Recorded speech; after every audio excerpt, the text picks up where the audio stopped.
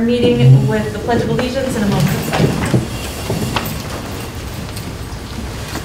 Pledge allegiance to the flag of the United States of America and to the republic for which it stands, one nation, under God, indivisible, with liberty and justice for all.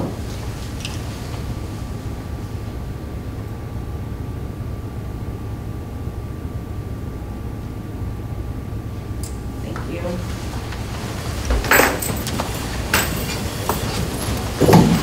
We're going to begin our board our board meeting because we have um, a public hearing on our proposed budgets for 2022, tax rates, tax levies, our um, CPF plan, and bus replacement plan.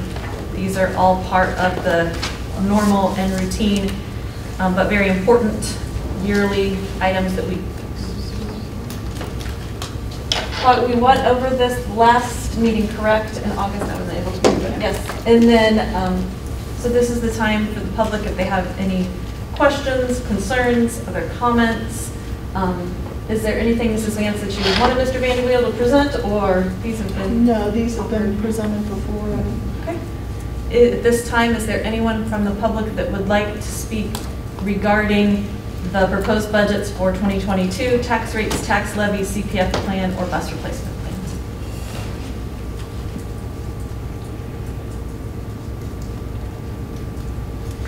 Okay, if not, then we will recess the public hearing, or adjourn, excuse me, the public hearing. And we will, let's see, that was the public hearing for those items. Now we will open the public hearing for additional appropriations for a general obligation bond. Notice of this hearing was published in the Rochester Sentinel on August 24th. Do I have a motion to adopt the proof of publication? So moved. Motion by Kyle, second. Second. Second by Kyle Rensberger. Um, Any questions or comments from the board? Okay, all those in favor, please raise your right hand. Motion carries seven zero. The board will now hear all taxpayers desiring to be heard in respect to the matter of the additional appropriation in the amount of $995,000 plus investment earnings thereon. Taking a look at the additional appropriation resolution, we are being asked to adopt this resolution. Here, let me Hand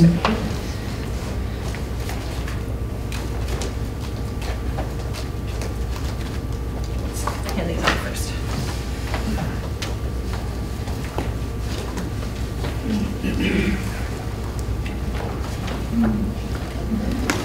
Then here are other copies if there are others that would like to see those.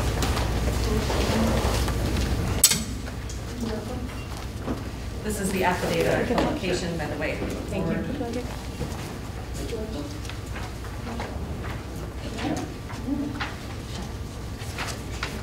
This is the affidavit, affidavit of publication.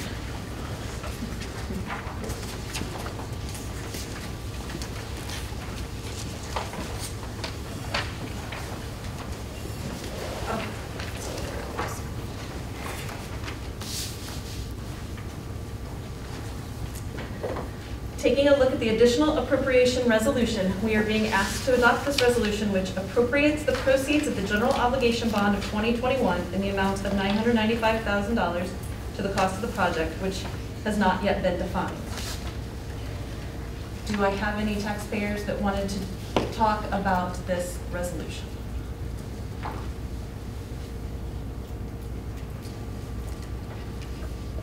Do I have a motion to adopt the additional appropriation resolution? So moved. Motion by Katie, Second. second by Colin McLaughlin. Any questions or comments from the board?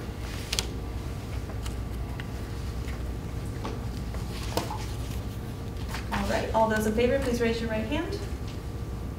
Motion carries 7-0. I will now ask for a motion that directs the secretary, Katie Miller, to advertise the sale of the bonds. So moved. Motion by Tom, Second.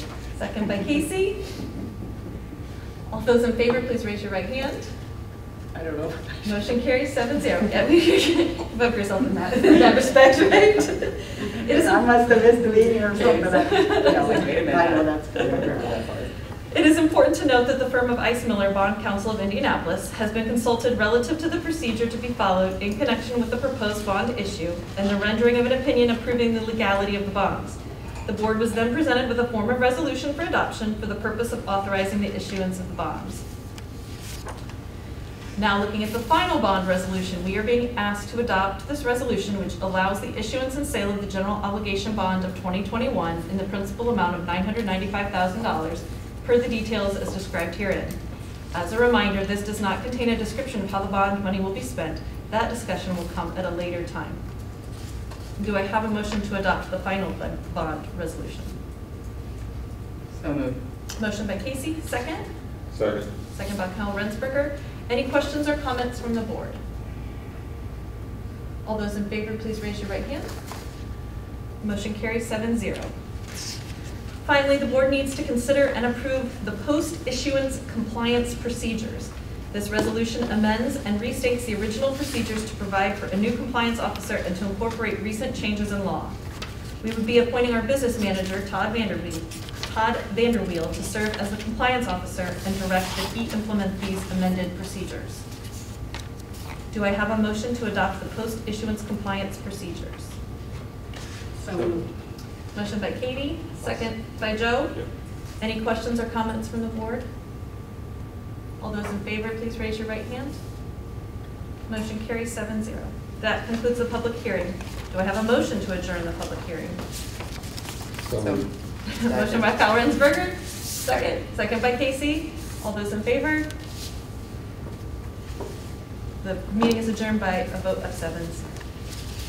The public hearing is adjourned about the GO bonds. Now we're going to resume our regular board meeting, which I am more familiar with. Um, We are going uh, to item A under financial report, which is approval of claims 19,753 to 19,889, totaling $813,803.81. Um, Were there any questions or concerns from the board on those? Um, Also payrolls, we have two payrolls. Uh, August 27th, 2021, for $427,935.16. And the September 10th, 2021 payroll for $462,856.66. Any questions or concerns from the board on those? Okay, Todd, would you go over the funds reports for us, please? I will.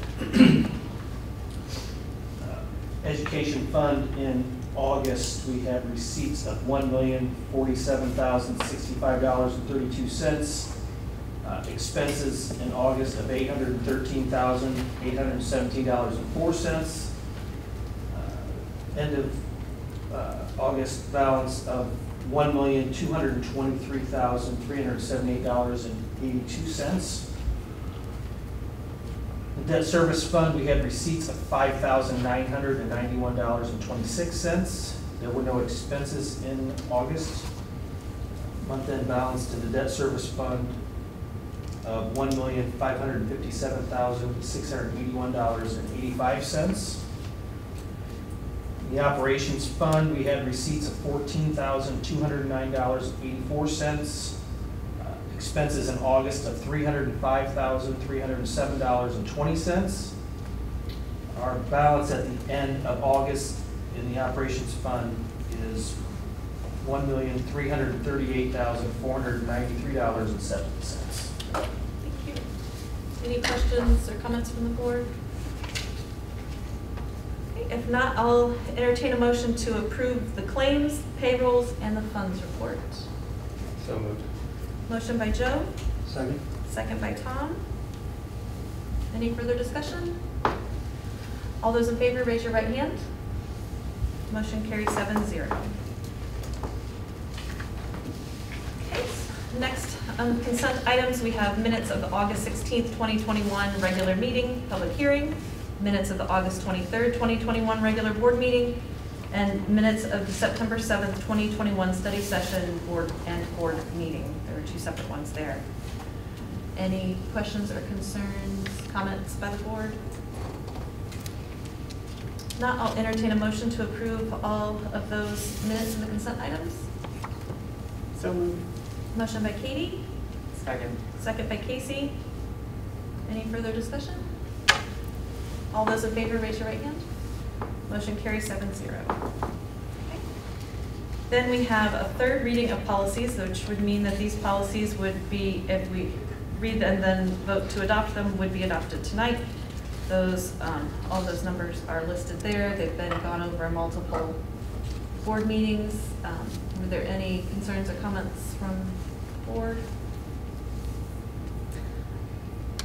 Um, If not, then I'll entertain a motion to approve these polic- policies.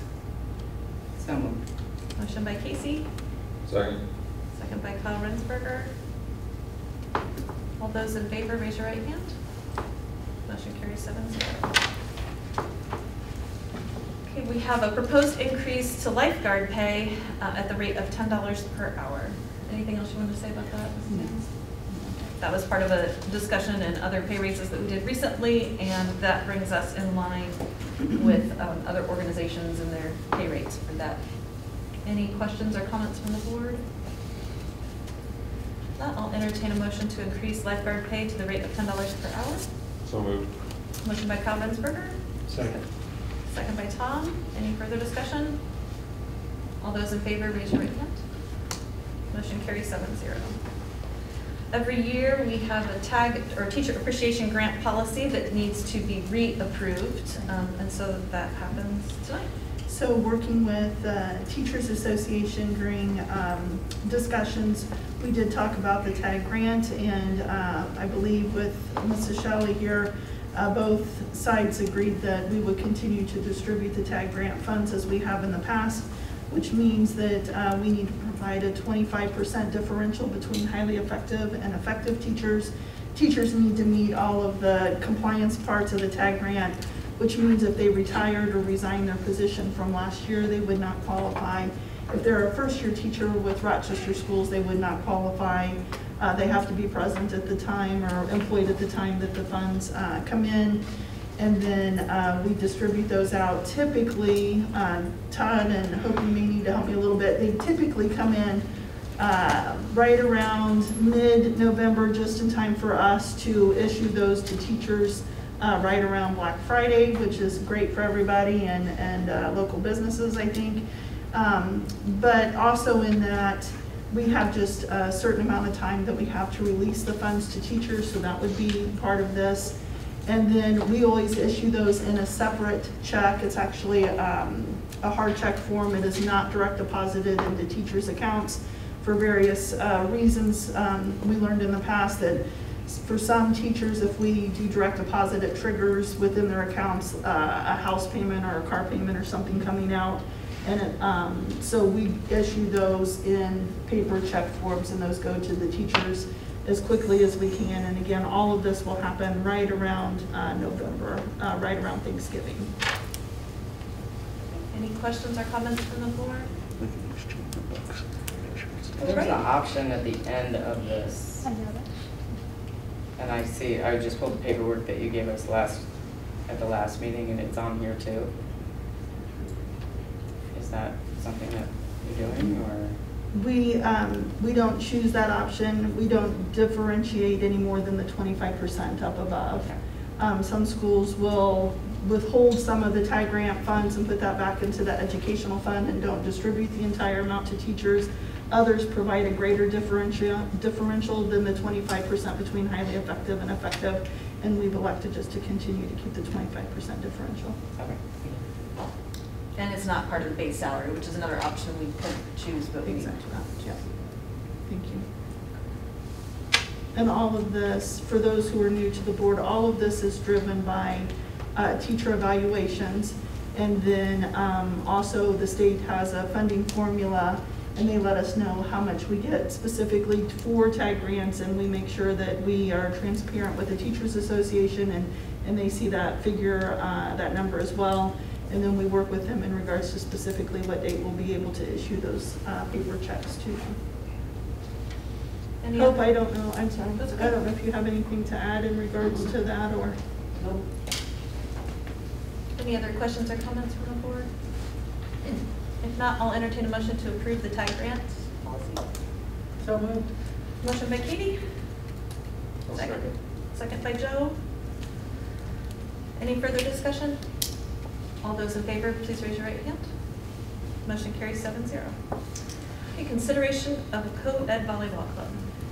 So, um, and I've attached, um, policies that, uh, coincide with this, but we have a request, uh, from the high school to begin a co-ed volleyball, um, uh, uh, club, a group. And typically what, how this works is, um, they're asking for one night per week and we would work with the different buildings. I know that sometimes during the winter months, it's very hard to schedule events at the high school or middle school. Sometimes we do have the Riddle Gym or Columbia Gym that may be available for this, but, um, normal IHSAA activities and athletics will supersede this. This will not displace any of those teams, but as available, we would like to open the gym for them to scrimmage. There are some schools, uh, a year or two down the road, if we sustain, see sustainability, they're, uh, beginning to compete with each other, so it may be a, a movement in that direction. But at this point in time, it's an activity to help build skills, um, to give students something, uh, physical, uh, physical, uh, exercise to do and, uh, to promote that within Rochester schools. How does this work, like if they're Columbia or Riddle, as far as like, um, you know, access to the gym, lights being turned on, turned off, Mhm. closing the building back up when they're done? Sure. So when, when these things happen, when they schedule, um, the building level principals and our maintenance team gets, uh, schedules of events, and so the custodians are responsible for opening up. That gives the students and, and the sponsor access to the gym, and then afterwards, the, the evening custodians lock everything up, clean everything up, and we'll leave. But this is all done through assignments, uh, and Kevin's nodding, has had a lot of it runs through his office for gym availability first. If he says it's available athletically, it goes to the principal to make sure that there aren't any other uh, events scheduled for that evening, a choir concert, a band concert, those types of things. And then once it's approved there, it goes into our maintenance system, and the head custodians track that and we'll assign that. I thought that's what it was. So basically, like intramurals. Sure, Do, absolutely. do we have intramural basketball anymore? I mean, that used to be big before. Not at this time, we haven't had, Yeah. so trying to revive some of those things. And that would be subject to the availability of the gyms, et cetera, at the elementary, so it's not going to bump any elementary Correct. programs, right? Correct, exactly. Will the students be required to have a physical? Yes. Any other questions about the volleyball club? If not, I'll entertain a motion to, um, ins- let's see, to approve a co-ed volleyball club at the high school. So moved. Motion by Joe, Second. second by Casey. Any further discussion? All those in favor, raise your right hand. Motion carries seven zero. Then we have a proposed request for an exception to the Wednesday rule for National Junior Honor Society induction ceremony. Um, So we do have a policy where grades uh, K through, or pre-K through eighth grade, we uh, reserve Wednesday night as family night. Uh, There are times when we can't fit in every event and activity when we look at fine arts and the use of gymnasium. So Misty Kripe is the NJHS uh, sponsor, reached out to me and they're having a difficult time uh, scheduling this around athletics and some fine arts programs. Many of the students that would be involved in NJHS are also part of those other activities. And then we're also concerned about availability of um, a a point of access for students to have the induction ceremony. So she is requesting that Wednesday, September 29th at 6 o'clock, the ceremony should last approximately an hour. Um, asking that the board um, lift that policy for that evening for the induction ceremony. Any questions or comments from the board? If not, I'll entertain a motion to grant the request to um, have an exception to the Wednesday rule for the National Junior Honor Society induction ceremony. So moved. Motion by Katie, Second. second by Casey. Any further discussion? All those in favor, raise your right hand. Motion carries seven zero. Allowance to use March 9th, 2022 as a date for a band concert. So exactly uh, the same conversation as before, just having trouble scheduling and making sure we have the venue for that and then making sure we don't cross over with athletic events so every student has the opportunity to participate. Looking at that, uh, the band, they're proposing a March 9th uh, evening concert on a Wednesday evening. So that's a Wednesday as well. Correct. I appreciate you looking, um, your teachers, and administrators looking for options other than the weekends, because I do know at times the fine arts have been pushed even to weekends in the spring. And so I appreciate that this is a Wednesday instead. Any questions or comments from the board? If not, I will entertain a motion to grant an exception for the Wednesday night rule for the band concert on March 9th. So moved. Motion by Tom, Second. second by Kyle Rensberger. Any further discussion? All those in favor, please raise your right hand. Motion carries seven zero. Okay, Mrs. Vance, update on COVID. So I want to thank Beth, and I know that uh, Nurse Butler is here as well uh, for the data that they've been providing. So I have some data prior to um, the policy which uh, talked about the mask mandate, and I'll read some of that data to you, and then also want to clarify some points within the policy that have been brought to our attention and make sure that we discuss that. So again, with two of our nurses here, I think you're the two that are here. Thank you so much for everything you're doing. I know that at times it feels and seems overwhelming and want to, want to publicly thank you for the work that you're doing. So from August 3rd to September 8th, here are uh, some data points for consideration. Rochester High School at that time had had, from during that time period, 12 different uh, staff members who were quarantined. During that time period, 175 students had been quarantined. We had three total positive staff cases, 15 total positive student cases. Prior to September 8th at Rochester Middle School, we had eight total quarantined staff members, 139 total quarantined students, we had two staff members from Rochester Middle School who had tested positive, and 11 total positive students during that time. At Riddle, uh, we had 14 total quarantine staff members. 185 students had been quarantined during that time period. How many was that, Jim? I'm sorry. 185 total students at Riddle had been quarantined during that time. One positive staff member during that time frame, and 15 total positive students. At Columbia from August 8th to Sep, or I'm sorry, August 3rd to September 8th, we had 33 total quarantine staff members, 226 total quarantine students,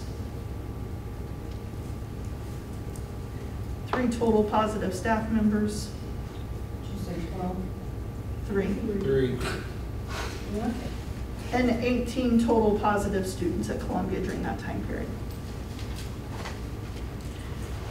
Working with Beth today, um, and I'm thankful that both Beth and Nurse Butler are here, because the data seems far different uh, now, but uh, I did ask them to go back and Beth did some data tracking in regards to specific to school, because one of the things that has happened is we've had Labor Day activities, and I think both ladies will shake their head that a lot of this is happening outside of school, so I asked them to track specific to in-school data. So at the high school, right now, we have 18 positive students, six positive staff members. Two of those six are part of the maintenance team at the high school.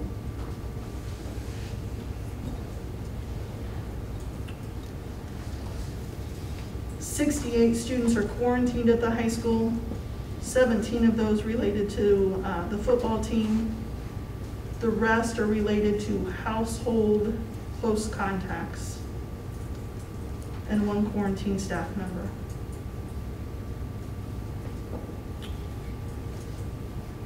At the middle school right now, we have 11 students who have tested positive, one staff member who has tested positive, 54 students who were quarantined, zero happened within the school. They were all events that happened outside of Rochester Middle School that caused them to be quarantined.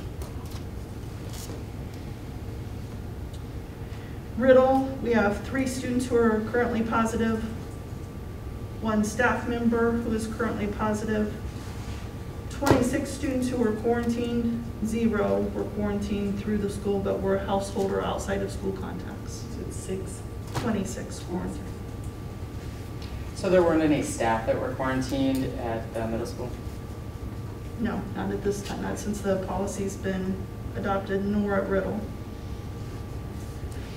Columbia, we have three students who are positive, two staff who are positive,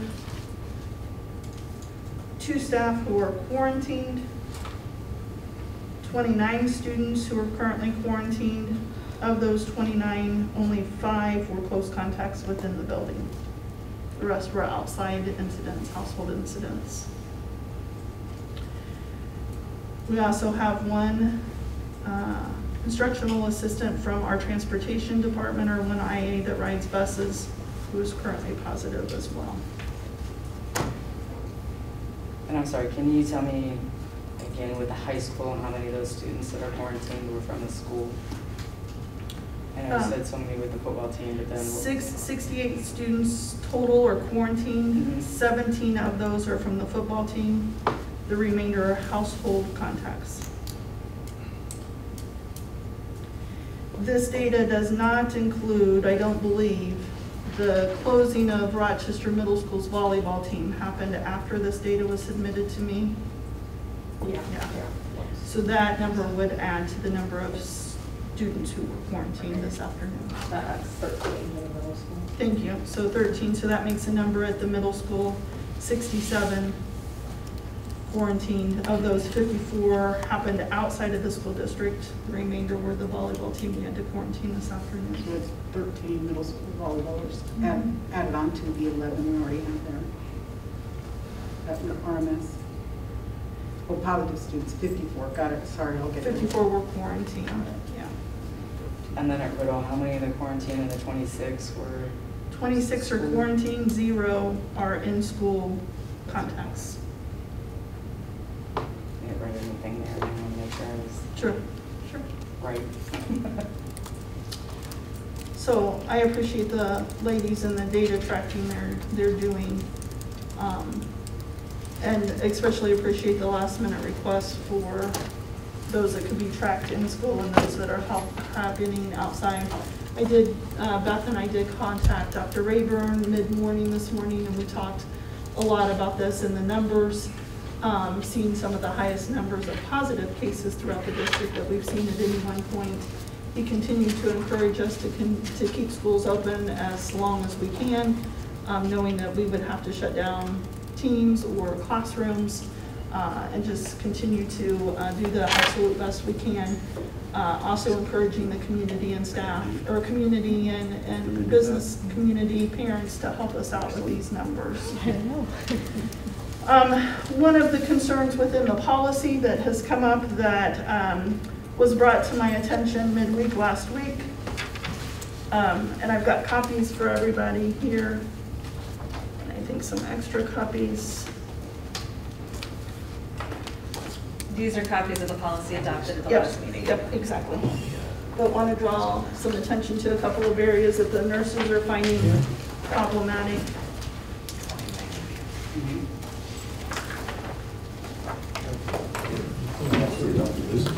That's the policy we adopted at the last meeting. Is But what- Jana's going to reference it, so So she made there's copies. twenty-nine quarantine at Columbia. 29 quarantines at Columbia right now. How are we quarantined?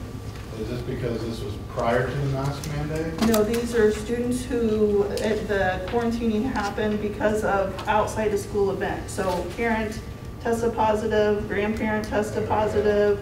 They were at a uh, function where somebody at that function tested positive. It did not happen within the four walls of the school. But What- you said five were from the building. Five of the 29 are ours. I think that's what, Oh, I'm sorry. so are they, those five, like, Happened were they from within- before? or- Yeah, it's either like lunch or like things we couldn't, have- they couldn't have been masked at, so. And Sam's nodding her head. I think a lot of They, them they were from lunch. Yeah. Yeah. Um, one of the concerns that, uh, the nursing staff brought to me, and uh, again, I appreciate Beth is in my office every day having, uh, honest, open conversations about the concerns that they're having. One of the confusions within the policy, um, I'm gonna kind of jump forward, then I'm gonna bring it back on page three. At the top, letter B mentions face covering or shield. Letter D on page three mentions face coverings and face shields. If we could go back now to some confusion that this has caused with teachers who are trying to follow this, as well as nurses who are pulling this up on page two, I would respectfully say under letter B that we need to clarify and have it say mask or face shields there. I would say on page three, the very top line, it is required that all students and staff wear masks or face shields there. And especially on number four, page four, letter I, that it says, uh, a person who's not wearing a mask or face shield due to an exemption, and that we keep that language, uh, clean and consistent. Uh, that has been a point of concern across the district and clarification and following the policy. So is your recommendation to, your recommendation is to add face shield, not to strike Correct. face shield from the Correct. outside? Where was that on the first, on page two, Jana? On page two, it was under Roman numeral two, letter B, Thank you. mask or face shields. And that the most important part of this would be at the top of page four, when we're talking about uh, the classroom settings and those types of things and and quarantining. So top of page four, letter I that we add or face shield there is the most important. But for the language, for clarification, for teachers who are trying to help the nurses communicating with parents, uh, I feel that it's important that we clean that uh, language up across, across the policy. And on page three, was that G? Any person Um, wearing face covering or face? Yeah, uh, And it's- At the oh, yes, three, yes, thank you, Casey. G as well. So on page three, it would be in the opening line.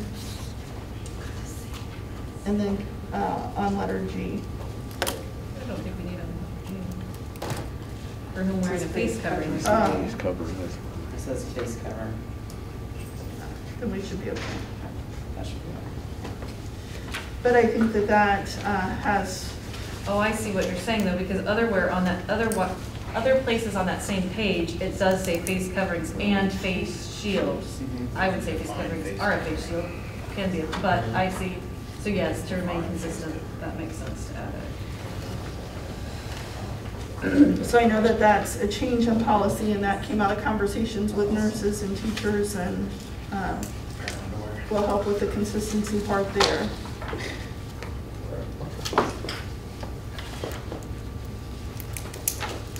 So I don't know if that takes board approval to change that And then policy. that would be be amending the policy. Are there any questions from the board about adding face shield to make it clear that that is a, is a viable option to a face mask? Absolutely. Yes.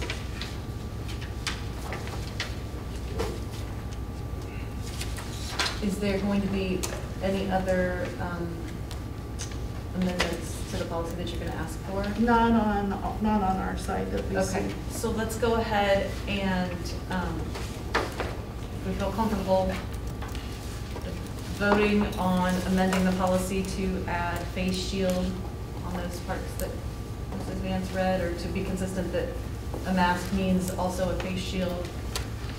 Do I have a recommendation to amend the policy? So moved. Recommendation by Kyle, or, yes, moved by Kyle Mack, Second. second by Casey. Any other questions on the board? All those in favor, please raise your right hand. Motion carries seven zero. Any other COVID updates that you, I don't have any. I know that the team is here, um, and hope from the Teachers Association if there is, are any points of discussion. Um, I know that they have been working hard. I know that Beth meets regularly with the team, um, to keep them consistent and to make sure that the communication is the same, and I want to thank them again for that. I am wondering why this information that was stapled to that, this is the July 26th information? Where you at? Oh, yeah. Because the state has September 7th updated information, and this doesn't have the other two options. The 8 and 10 day, this is only the 10 day. So I think that Beth and uh, Kevin can help answer those questions as well in regards to the number, the quarantine, Is that the question? No, I'm wondering why this is old information was stapled in policy. That, I printed out all of the information. so we adopt, this, was this originally attached to our policy though? No, it's the No. first time I've ever seen No. this. And I've spent hours on the Indiana Department of Health's website. So what, what are those dated? These are July 26th, and I know they've got September 7th and September 3rd. They have the same quarantine decision tree that has the 8, 10, and 14 options, just very simply 1, 2, and 3. That's what I emailed everybody tonight with the Department of Health's actual rules, not guidelines, but their actual rules on, you know, all of that stuff that was said.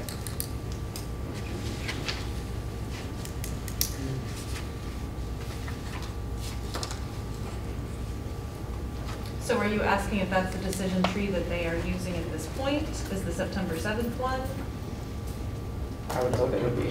Yeah, absolutely. Okay. I mean, I, I'm just wondering why this was stapled to the policy. Well, that- I think part of the concern that is coming out of this is on the athletic end in regards to what we need to follow athletically and the guidance there.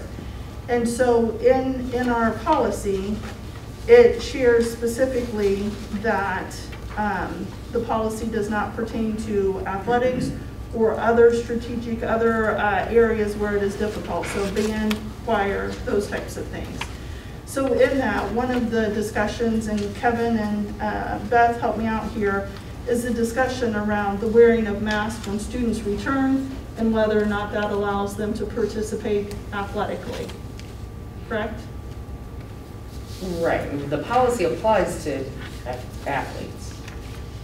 The exemption for quarantining does not apply to those extracurricular activities.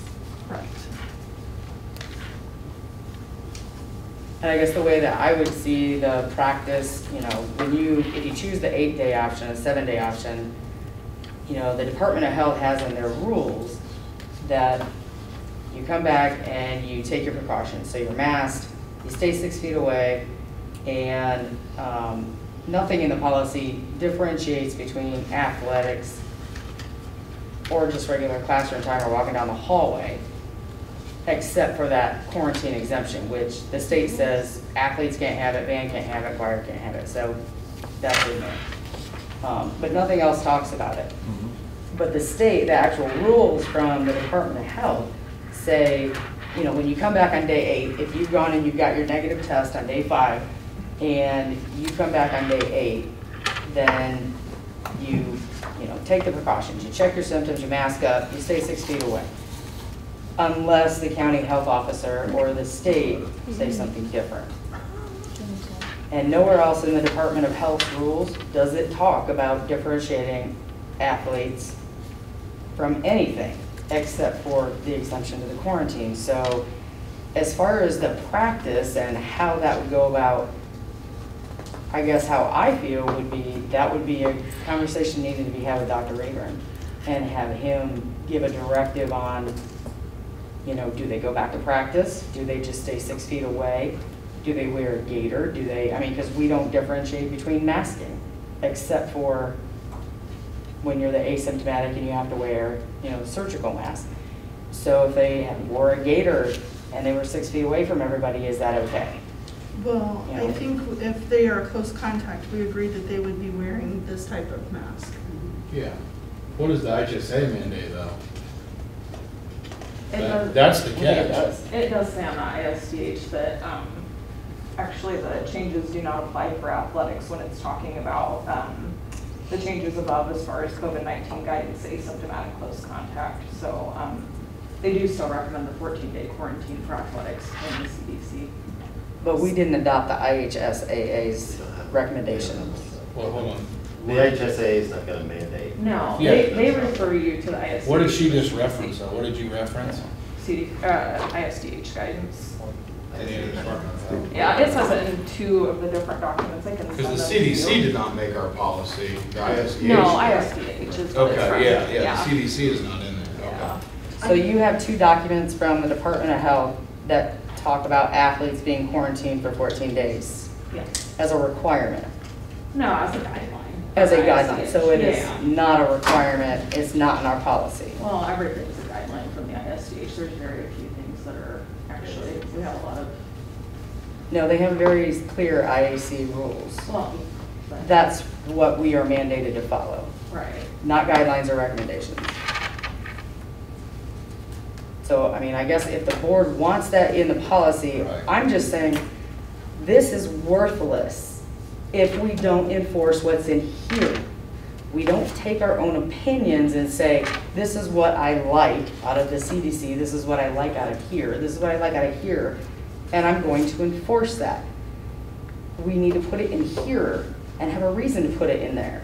And then that's what everybody enforces, so that it's, it doesn't come back, it's not confusing to the public, it's not confusing to the kids or the parents. We have one policy, it's on our website, this is just it. And that's all I'm saying. I mean, if the board wants to do the 14 days, fine, let's vote on it, great, amend it, okay. But let's amend it, let's put it in here. I think another concern that, that came up in these conversations, that we've all received information from at least, you know, a couple of parents in the last couple of weeks. But, um, you know, if they get a, a negative COVID test and can come back on day eight, then are they excluded from practice until day 14? Yes. According to what, that, what you just And read? according to the ISDH, and the other part of that is too, they say that they don't want you to do athletics unless you can mask and you can completely distant, and the mask is no exceptions from the city. That's the guideline. But what Casey's saying, the recommendation's there, what I'm just Casey's saying saying, that either needs to be put in the policy, or, And, I mean, or we can't, we just can't keep accepting recommendations from these credible sources that you're using you would have. and changing the rules as we go. Well, and I, I think that the issue is, I had a parent who came to me with, I saw this on the CDC, I saw this on the Indiana Department of Health, I saw this on your website, and I saw this at the IHSAA, which one are you following? And I go, we go with the Indiana Department of Health. Yeah. That was my response. But the IHSAA says this, uh, we go with the Indiana Department of Health. I think they were looking perhaps, you know, looking for a loophole in a sense and not, I mean, I I agree, parents want their kids back in school and I don't disagree with that. I mean, everybody wants their kid back as soon as they can be, but we also need to, but as part of our policy, we're following the ISBA.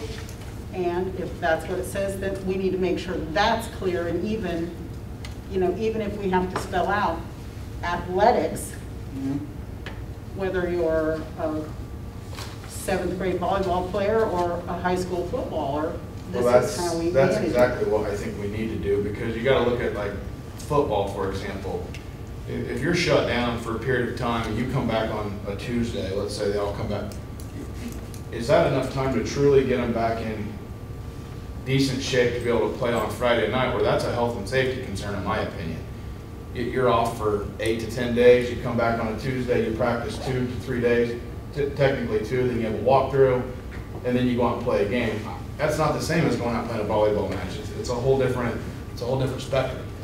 But, but I get, I get what you're saying as well, because I've had the same, or I shouldn't say the same individuals, but many individuals say to me, what are you following? I mean, under the moon, you guys, you know, and, and our nurses are also pulling information on, on a weekly basis or daily basis, whatever that may be, and they're pulling from information, you know, we're, we develop a policy that doesn't include the CDC, but we're still referencing CDC stuff, it, it's too much. We follow So do I, the ISDH, and a lot of times they reference the CDC. So when we reference that, that's from the ISDH, so. so do I have a motion to amend the policy under uh, Roman numeral nine, return after exhibiting symptoms, to add a paragraph D that would specify, that would be on page six, a paragraph D that would specify um, that we will follow ISDH guidelines for returning um, to the athletic field, since there isn't a specific return about athletics listed in here, that we would add that. I don't even know where that's at. I mean, honestly, I'd love to see it because I've read the rules.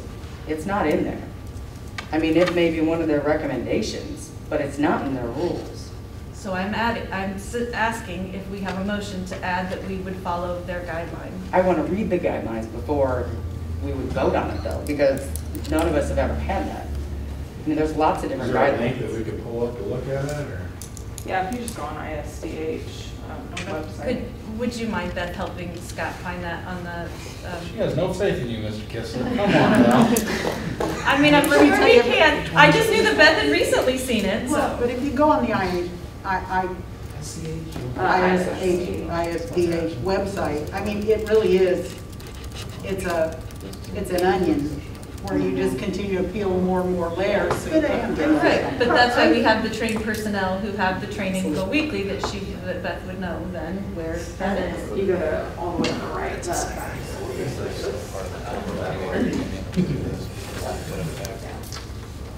I guess technically, they'll be back eligible tomorrow with negative tests, but still. Well, and part of it is the 14 within the policy. Within the policy on page five, it talks about, under Roman numeral eight, number four, that they would wear a surgical mask for 14 days, even if they come back. And I think the other concern from athletics is putting a surgical mask on students that have been in close contact and putting them under a helmet and putting them out on the field. But our policy says you don't wear a mask during athletics. It only says during school or classroom, it doesn't say athletics. Right. And that's where the IS, the actual Indiana Department of Health, what I sent everybody before the meeting and underlined where it said, your county health officer can make a determination. That's where it'd be nice to see what Dr. Rayburn actually said. Because you have different, different sports. This is athletes, this is athletics, this is all athletics, you know? And so if I'm running track, obviously wearing a mask is going to be extremely difficult, you know. But if I'm throwing, I don't know, I'm not a track person, but if I'm doing something that where I'm not doing that cardio, you know, it would just be nice to have. This is why I asked for the COVID update to be on every two weeks, because stuff's always changing. It's important that we follow the policy as is and not amend it. Person, you know, people amending it as we go along or adding stuff. We strictly need to follow the policy, and we need to make sure We're to get it. clarifying as we go along. Yeah, Were I you able to find it? Yeah, it's, all of it's right there. That's all the guidance from the ISDH for school. So Do where's you the have the athletics? athletics? Oh, are we one? looking at- okay. I know. I read all of that.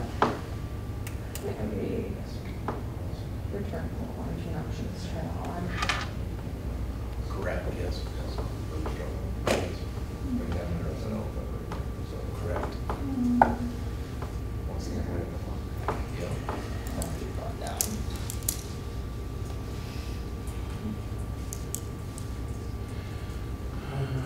Okay, so here it talks about the changes in definition apply, only apply to students in K, in grades K through twelve for the academic school day while in the classroom. And then below it says these changes do not apply in high-risk classes, changes do not apply for athletics, including cheerleading or other extracurricular activities. But that's the eight twenty-four. Yeah. They actually reissued that in September. Well, we can go to the, the nine seven. They're both on here.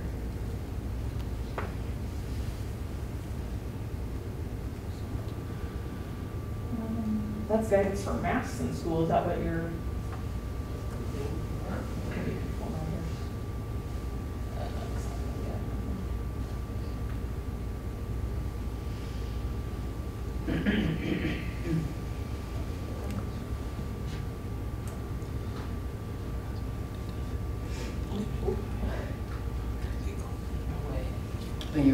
September second one. That's where they updated the quarantine.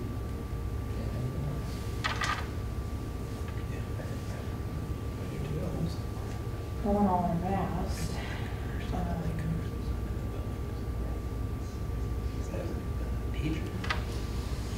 I mean, we have updated guidance for when all are masked, but They had the quarantine on September second, and then they had the mask on September second, and then Right. September seventh, I just pulled two new ones. Um, I'm not sure what the difference was. Yeah, if you want to click on guidance for masks school, go ahead and click on that. So I'll just scroll down to the bottom, just take out.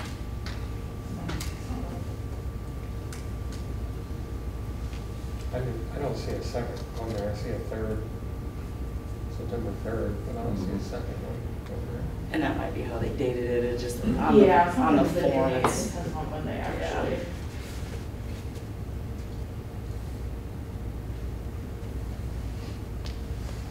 I mean, that's the, that's the updated guidance there, that's updated every Thursday. And so that's. It might have most been recent. from like a webinar, and sometimes they have a looked date at on it right there. now for you, the, What? the webinar. Okay. I think it was on there. Yeah, probably a webinar is what it's from. Because that would have been, did you say nine two?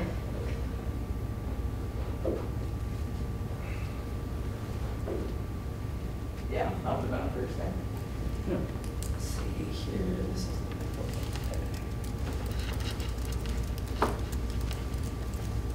Yeah, it's dated the ninety-three. Yeah.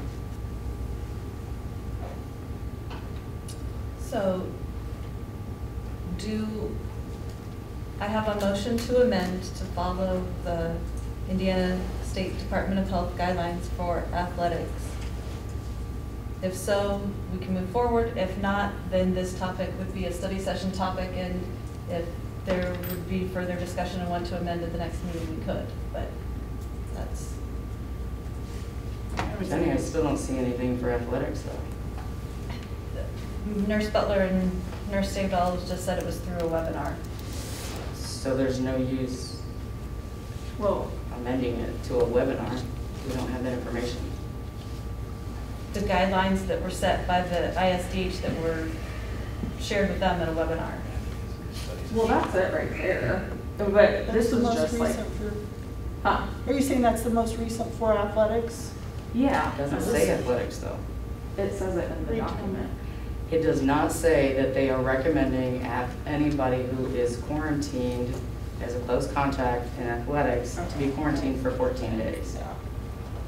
All it says is the same thing that we did when we passed our policy. But Wear masks at all times. But isn't that if they're not masked in the classroom, then that would be the 14 days? The what, sorry. So if you have close contacts, even at home, if people are not wearing masks, isn't the quarantine period for 14 days? Right, and then you have the, the ten day option with enhanced precautions and the eight day with Right. the testing and enhanced precautions, yeah. Everybody So across the board has the three options. It doesn't matter if it was athletes, athletics, or in the classroom, lunchroom, taking your mask off. Everybody has the three options. Eight, 10, 14. What I'm saying is there, I want to see and read where the Department of Health is actually saying it is their new rule that if you are an athlete, you have to quarantine for 14 days.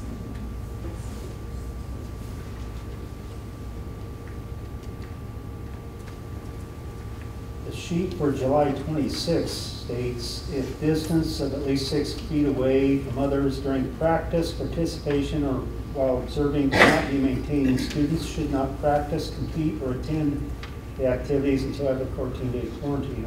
I guess that's where that originally comes from. That's from. That's in July though, so So I we don't have know the- what's happened since then.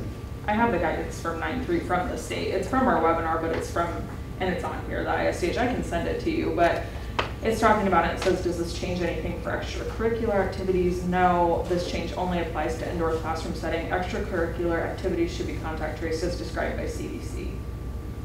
So, I can send that to you. But that still does not say that an athlete has to be quarantined for 14 days and doesn't have the eight or 10 day option. Do you mean to come back for school or to come back athletically? Jenny's talking about amending the quarantine guidelines. I was. That's not practice. I- That's no. not activities, that's quarantining. No, whoa, whoa, whoa. I, I meant for, I think it's pretty clear for coming back to the classroom. But Yeah. as far as returning to practice is what I thought you were asking about. If you were, because what I'm hearing here is that they can't return to practice until 14 days. And, and I may have misinterpreted. What I was hearing from you is, well, don't they have the eight or 10 day option to return to practice as well? I would think that any student, athlete or not, is treated the same as far as the classroom goes, but returning to practice is a different animal, or potentially is a different animal. Right. And I see, I'm looking at it as two different things. Mm-hmm. Number one, they're no different than any other student, whether it's athletes or not. As They far as get the three options as far as quarantine, Right. eight, 10, 12, Right. or 14. But as far as stating, okay, they can or can't resume that activity,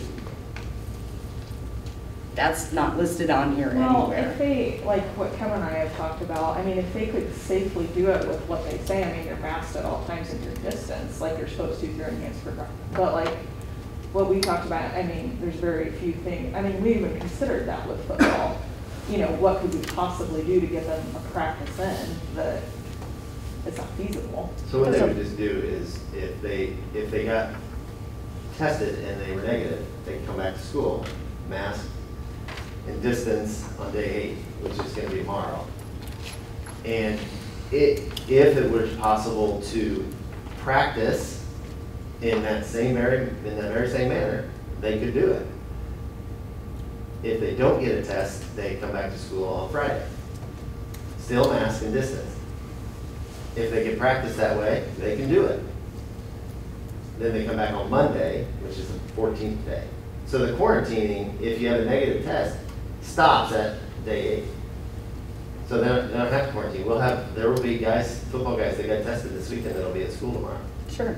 So that's when the quarantining stops. But as far as practicing unencumbered, regular athletic activities without a mask and without, I mean, you can't distance when you practice football, but that won't happen until the fourteenth day. So they won't be practicing. They could if, if, They had a negative. if they, if you can, by the nature of the sport, if you could do it, if he could, if Coach Schaefer could have practice tomorrow with the guys that are there and have a mask and keep them distance, to which he said, you can't do it. But if you could do it, they could do it. So if it's in a sport that is able to do that, however that would be, Mhm. they could do that. Mhm. But, it- so our guidelines And are that's my point. I don't want to put it in there because there are some sports, there's the weight room. I mean, you know, the football players could go into the weight room and they could work on that part of it. I mean, if we have it in the policy, is somebody going to see them in the weight room? Six That's feet apart from a a teammate and say, hey, they're, they're doing They're not wearing what they're not supposed to, you know? I mean, I don't want to take that away from them. If They can wear a mask and, you know, bench press. Okay, so So do, are we clear then that our policy is, is sufficient in saying the quarantining guidelines as is, as we have right now, and that we know that that applies to whatever activities they're doing, they need to stay distanced? And if their extracurricular activities or something where they can't stay distanced, then they have to wait 14 days to resume that activity. They can come back to school sooner, but That's what Policy the, doesn't say that though. our policy has the returning after exhibiting symptoms. Says you got to wear a mask for 14 days, even if you return on day eight in school. Correct. For all activities. Now, if you, if it doesn't say for all activities, then maybe those three words is what we need to add. And then it's up to the coaches and the AD to say, look, you know, obviously you're not going to go out and run, you know, a 50-yard dash with a mask on, 90 degree heat. You know, you're just not going to do it.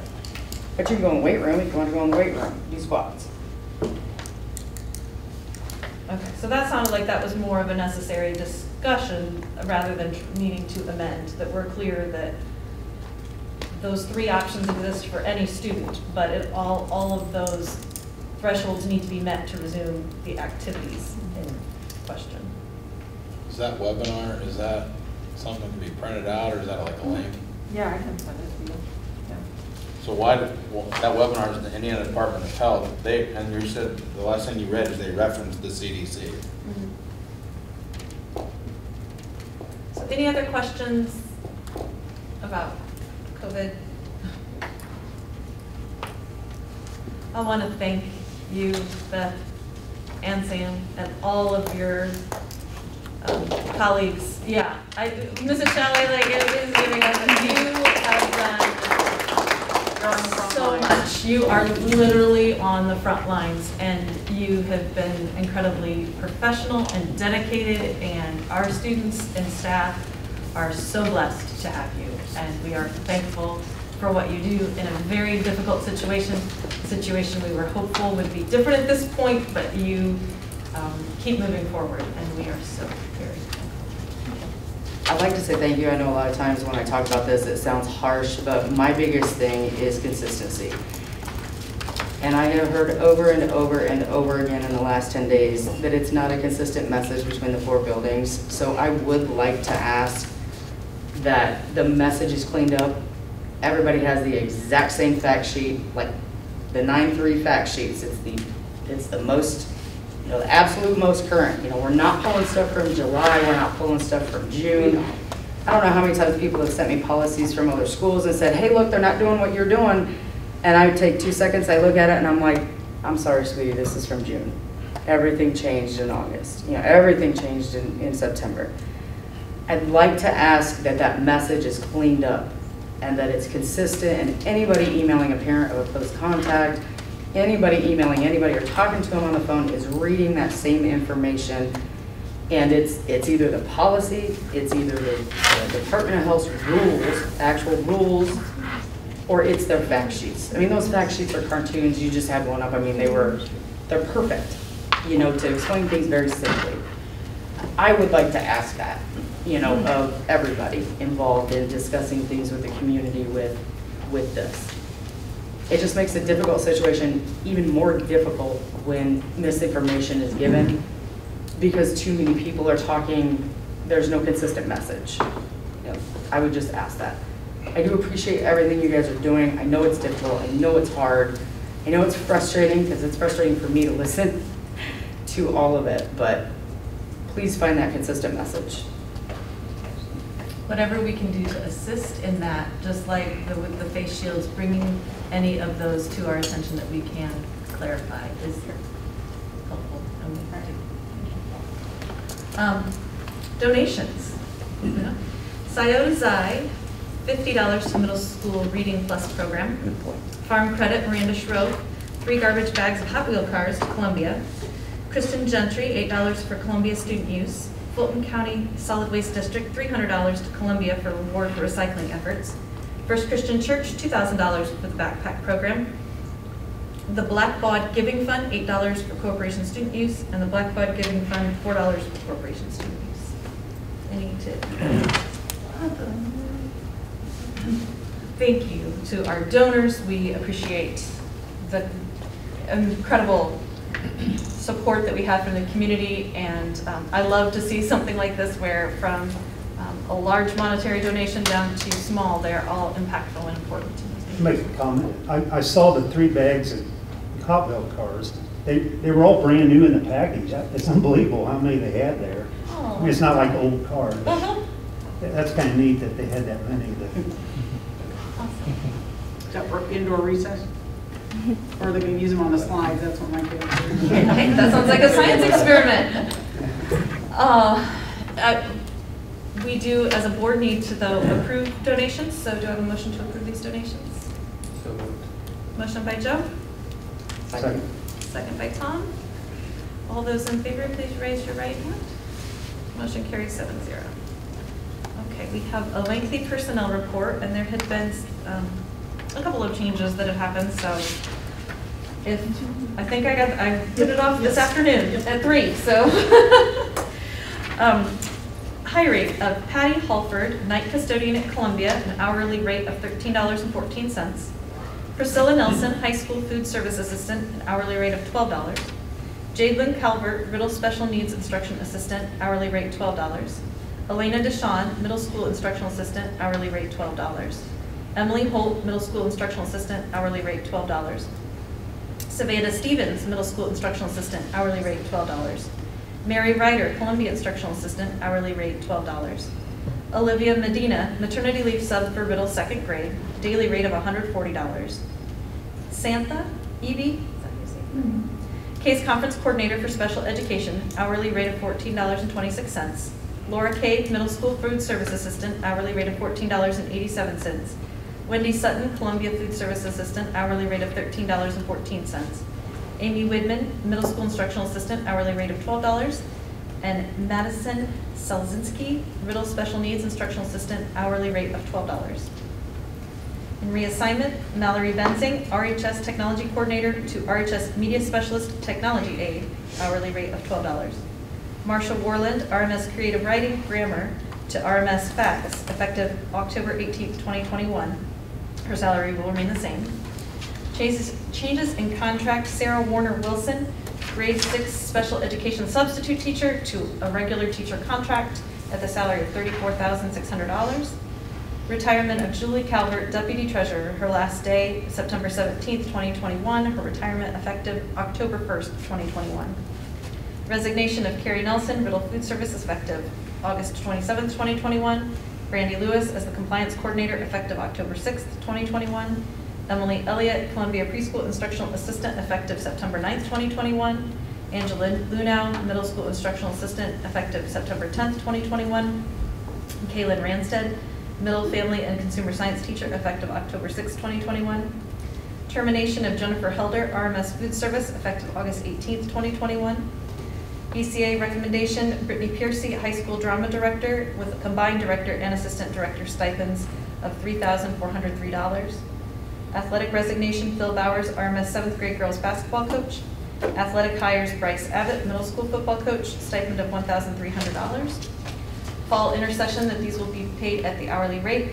Jara Pio uh, at the middle school, Bryce Roberts at the middle school, and Joanna Tewalt at the middle school as an instructional assistant. Reassignment, Veronica Mendez, Riddle Special Needs Instructional Assistant to Title I Instructional Assistant.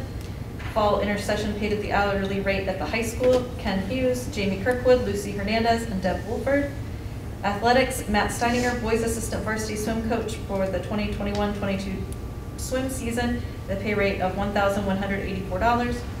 And Phil Bowers, the junior girls junior varsity basketball coach for 2021-2022 basketball season, pay rate of $3,770. Hires Ariana Heischman as a one-to-one special needs instructional assistant at Columbia for an hourly rate of $12.59. Do I have a motion to approve the personnel report? So moved. Motion by Katie, Second. second by Casey. Any discussion? All those in favor, raise your right hand. Motion carries seven zero. That leads us to superintendent business. The, the one thing I'd like to share is clarification around uh, CARES money and with Todd here and with Mrs. Shelley here as part of our CTA. There's a lot of miscommunication and I'm fielding a lot of phone calls that are receiving CARES money is linked to uh, the specific mask mandate. I want to make sure that everybody realizes that that is not true. The CARES money was originally brought about for school districts. The first round was during the time of COVID when we really needed those funds to be able to purchase the masks, do the deep cleaning, the disinfecting, those types of things. Round two was when it uh, continued and uh, we were looking at uh, the substitute teachers that were needed, the continued cleaning, the overtime in our transportation department, those types of things. This third round was very specific for schools who had not opened at that point in time. Uh, they made it very clear that they wanted those funds to go towards uh, the reopening of schools to be able to do it safely. So they put aside that money specifically for things like HVAC, for uh, specific remediation, for um, student growth and achievement due to uh, some learning um, gaps that had happened during the COVID time. In order to receive the CARES money back in July with the original reopening plan, we qualified for CARES money at that point in time. It has nothing to do with the most recent update. The CARES money does not arrive in Rochester schools in any of our accounts. It wasn't reflected on anything that you've seen here, and we have to be very transparent and go through the auditing process. It is a reimbursement uh, type of revolving account, and we have to, first of all, set, uh, make sure that those reimbursements qualify for the funds, those have to be submitted, and then we are reimbursed for that. So just as a a clarification across the community and trying to resolve some of those telephone calls, it has nothing to do with the latest uh, implementation of mask mandate uh, per the governor's executive order. Anything else? No, I want to thank everybody. I know um, the administrative team talks about it a lot, Hope talks about it a lot, um, just how emotionally draining it is for, for everybody. And we just ask for everybody's continued patience and support. What we're doing within the school seems to be working. Uh, Speaking with Dr. Rayburn today, he says we're still a couple weeks out uh, in regards to this peaking in Fulton County, and it's going to take everybody working together to get over that final hurdle. Thank you. And with that, we'll adjourn the meeting. Hey Jenny.